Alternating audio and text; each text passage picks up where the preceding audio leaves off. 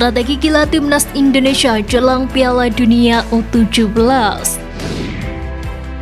STI tak usah bimbang, striker lokal jadi solusi timnas.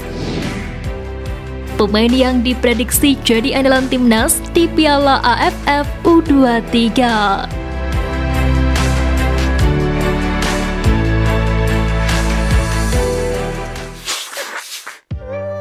Strategi gila timnas Indonesia jelang Piala Dunia U17.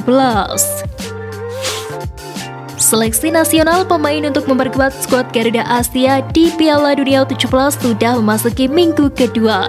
Sebelumnya, seleksi pemain sudah dilakukan di Bandung dan Palembang.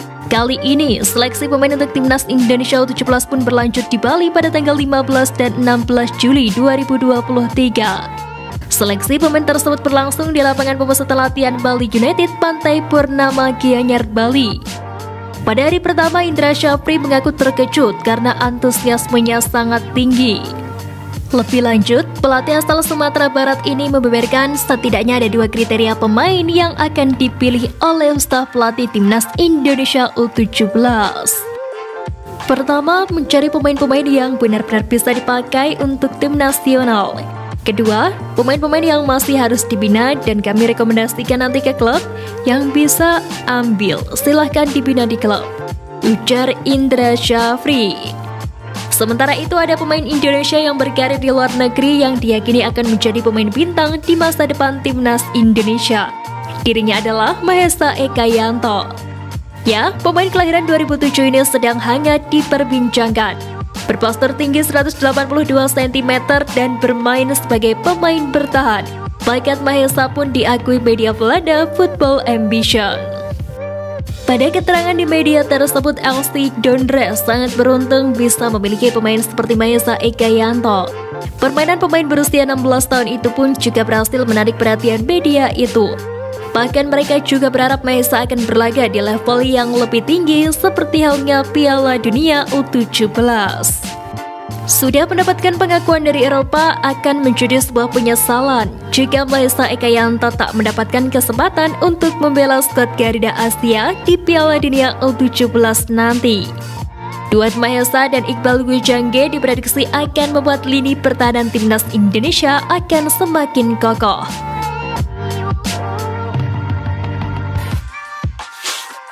Pemain yang diprediksi jadi andalan timnas di Piala AFF U23 Fajar Fatur Rahman Potensi Fajar Fatur Rahman untuk meledak amat besar bersama skuad Garuda Muda di Piala AFF U23 Sebelumnya, pemain asal Borneo Asli Samarinda itu tampil gacor di SEA Games 2023 Bersama Ramadan Sananta dan pemain timnas Vietnam Nguyen Phan Tung, Fajar keluar sebagai pemain tersubur di ajang tersebut dengan perolehan 5 gol. Fajar adalah pemain versatile. Selain penyerang dan gelandang sayap, pemuda berusia 21 tahun itu juga bisa dimainkan sebagai back sayap. Posisi yang kerap diisinya di Borneo FC. Beckham Putra Nugraha Beckham Putra Nugraha menjadi alternatif paling pas buat Sintayong. Jika Marcelino harus absen membela timnas Indonesia U23 di Piala AFF U23 2023. Sebagai gelandang serang, kemampuan Beckham Putra cukup lengkap. Pemain Persi Bandung itu memiliki kelebihan dalam penetrasi ke lini pertahanan lawan dan memberikan umpan-umpan akurat. Rizky Ridho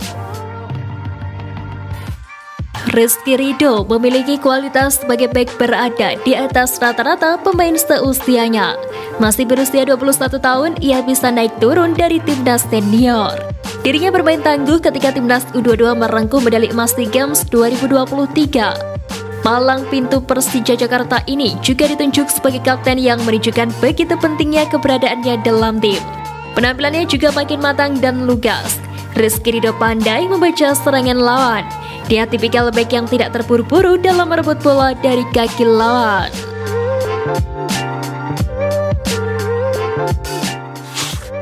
ST tak usah bimbang, striker lokal jadi solusi timnas. BRI Liga 1 masih berjalan tiga pekan. Namun salah satu pemain yang berlabel timnas sudah memborong sejumlah penghargaan. Pemain tersebut adalah Ramadan Sananta. Ya, ex pemain PSM Makassar ini menunjukkan penampilan yang apik bersama klub barunya Persis Solo.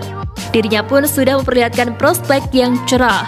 Ramadan Sananta selalu menjadi pilihan utama pelatih Persis Solo Leonardo Medina. Hasilnya Sanata sudah menghasilkan dua gol untuk Laskar Samber Nyawa. Gol pertama dicetak pada laga perdana melawan Persebaya Surabaya. Sedangkan gol kedua bersarang di gawang Purne Aussie pada pekan ketiga. Penampilan impresifnya itu sudah menghasilkan sejumlah penghargaan individu. Pada laga pekan kedua misalnya, dia mendapatkan gelar Best Young Player of the Week alias pemain muda terbaik dan menjadi pemain terbaik ketika mengalahkan Pesut Etam dengan skor 2-1 pada hari Sabtu lalu. Ramadan Sananta pun bersyukur dengan penghargaan ini. Kemenangan yang diraih Persis Solo tak lepas dari kerja keras pemain dalam menjalankan instruksi yang telah diberikan tim pelatih dalam sesi latihan. Dengan penampilan apik itu, Ramadan Sananta juga dipuji pemain asal Brasil yakni Mateus Pato Menurut Pato, pemain berusia 20 tahun itu merupakan pemain yang fantastis. Sananta anak muda yang bagus. Musim lalu dia main bagus, dia juga main di kompetisi Asia. Dia pemain bagus untuk bisa bantu Indonesia nanti. Ujar top scorer PRI Liga 1 musim lalu. Dengan catatan tersebut, hingga kini belum ada pemain lokal yang bisa menandingi jumlah gol Ramadan Sananta di Liga 1. Hanya Ricky Cawar yang bisa menyamainya. Bukan tidak mungkin Ramadan Sananta akan menjadi pilihan Sintayong untuk memperkuat skuad Garuda di event selanjutnya. Terlebih striker yang berlabel timnas hingga kini masih belum mencetak satu biji pun gol.